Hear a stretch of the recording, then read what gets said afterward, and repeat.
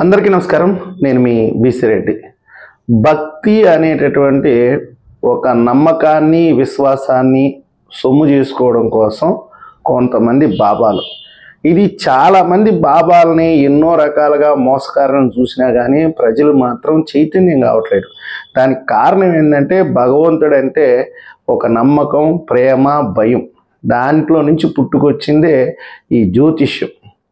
ఏముండదు. ఇప్పుడు కొత్త కాలంలో ఏం చేస్తున్నారంటే ప్రతి ఫారుంబోకు సన్నాసి చదవకి ఏంటంటే ఈజీ మనీ అనే దానికి అలవాటు పడిపోయి కొన్ని ఛానల్స్ ఉంటాయి పెయిడ్ ఛానల్స్. వాటిలోకి వెళ్ళటం వాళ్ళకు ఒక పదివేలు ఇరవై వేలు ఇవ్వడం ఒక స్క్రిప్టెడ్ ఇంటర్వ్యూ ఒకటి తయారు చేసుకోవటం ఆ ఇంటర్వ్యూలో పిచ్చి పిచ్చి మాటలన్నీ మాట్లాడటం. ఉదాహరణకి ఏంటంటే రెండు వేల పదకొండులో ధోని ప్రపంచ కప్ కొడతానని నేను అప్పుడే చెప్పాను. ధోని ఒక గంట ముందు ధోనితో మాట్లాడేసి నువ్వు లెఫ్ట్ సైడ్ ఈ బూట్ వేసుకొని పో రైట్ సైడ్ ఈ కలర్ వేసుకోపో అని చెప్పాను. దానివల్లే ఆయన ప్రపంచ కప్లో గెలవగలిగాడు. ఇటాటి సొల్లు కబుర్లు అన్నీ నాలుగు చెప్పేస్తారు. పలానా హీరోయిన్కి పెళ్ళి చెడిపోద్దని నేను ముందే చెప్పాను. పలానా హీరో హిట్ కొడతాడని నేను ముందే చెప్పాను. పలానా నాయకుడు ముఖ్యమంత్రి అవుతాడని నేను అప్పుడే చెప్పాను. వీళ్ళంతా ఏంటంటే వీళ్ళని ఒక చిన్న క్యామ్డియన్గా చూస్తారు. ఇప్పుడు ధోని వచ్చేసి ఏం చెప్పడు. ఈ ఎదవలు నాకేం చెప్పలేదు నేను కష్టపడ్డాను. టీమును ముందుండి నడిపించాను నేను వరల్డ్ కప్ గెలిచానని చెప్పేసి ఆయన వచ్చి చెప్పడు.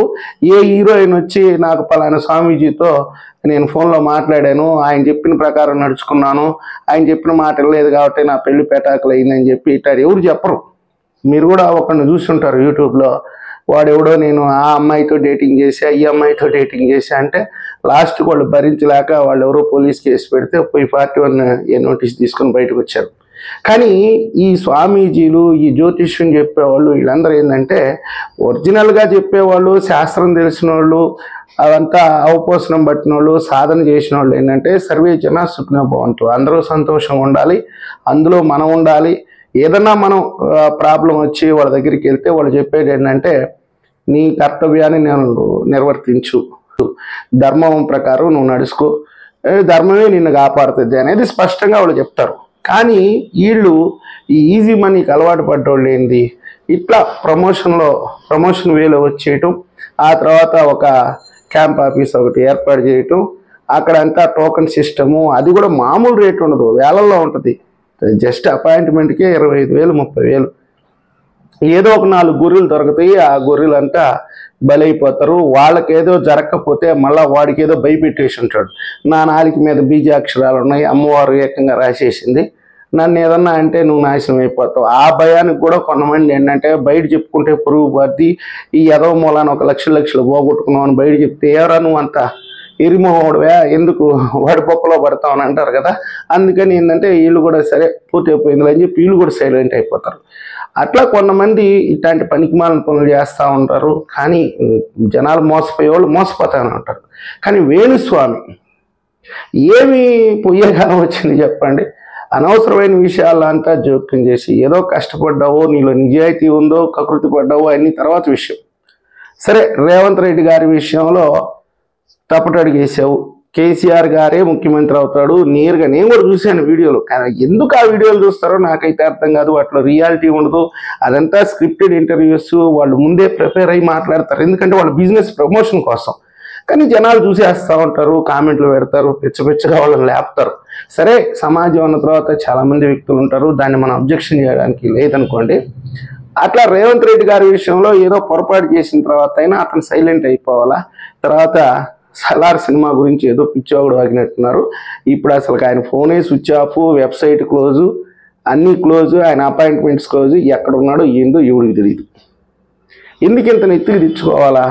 ఫేమస్ కావడం కోసం తర్వాత వచ్చి చిల్లర డబ్బుల కోసం. ఇప్పుడు కేసీఆర్ గారు గెలవరు అక్కడ అధికారంలోకి రాడు అంటే తోలు వచ్చి డోలు కడతాడు. అట్లే జగన్మోహన్ రెడ్డి గారి గురించి ఏదన్నా అంటే వాడు ఇల్లు కూడా ఉండదు అక్కడ. మరి ఎవడు అమాయకంగా దొరుకుతాడంటే చంద్రబాబు నాయుడు గారు పవన్ కళ్యాణ్ గారు రేవంత్ రెడ్డి ఇలాంటి వాళ్ళు దొరుకుతారు. వాళ్ళు వీళ్ళ మీద మాట్లాడుతూ ఉంటారు. వీళ్ళు ఏమనుకుంటారు? మనం పోతా ఉంటే వంద కుక్కలు అరుస్తూ ఉంటాయి. ఈ అదవుల గురించి పట్టించుకొని మన టైం వేస్ట్ ఎందుకు చేసుకోవటం వాళ్ళ పాటికి వాళ్ళు వెళ్ళిపోతూ ఉంటారు. ధైర్యం అనమాట వీళ్ళకి. చంద్రబాబు నాయుడు గారిని పవన్ కళ్యాణ్ని ఇట్లాంటి ప్రజానాయకులను చూస్తే ధైర్యం. అంటే ఏం చేయలేరు. వీళ్ళు ఆ స్థాయికి దిగజారరు అనే లాజిక్ అయితే వాళ్ళు పట్టుకొని ఉంటారు.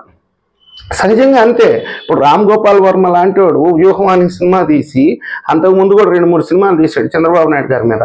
ఎందుకని తీస్తాడు? ధైర్యం. నన్ను ఏం చేయలేడు. ఆ రోజు అధికారంలో ముఖ్యమంత్రిగా ఉన్నప్పుడే చేయలేరు కాబట్టి ఈరోజు ఏం చేస్తాడు నన్ను అనేది వాడి ధైర్యం ఆ తెగింపు అనమాట రేపు వీళ్ళు కూడా అంటే చంద్రబాబు నాయుడు గారు అధికారానికి వస్తే ఈ అతవల గురించి మనకి ఎందుకని పక్కన పడేస్తారు? అందుకే ఈ వేణుస్వామి లాంటి వాళ్ళు ఏంటంటే ఇట్లాంటి పిచ్చి కూతలు పోస్తూ ఉంటారు.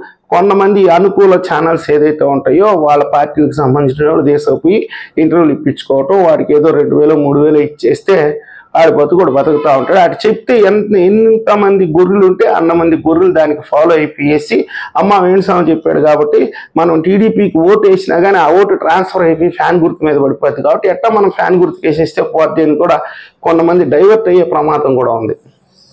అట్లా ఏంటంటే వీళ్ళు నీచానికి దిగజారేటటువంటి నికృష్టులు. వాళ్ళు ఏదో చెప్పుకోవాలి జాతకాలు చెప్పుకొని ఏదో ఒక చెట్టు కింద కూర్చొని చివరి చేసుకొని చెప్పుకొని ఎవడో దాని ఎవడో పదో పరకాయిస్తే అదేదో ఆనందిని బతికేస్తే పోని.